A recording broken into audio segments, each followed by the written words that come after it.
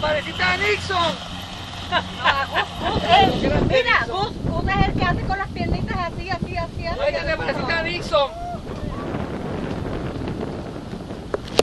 Yo hago así. Entrate con una corriente buena ahí. Mira.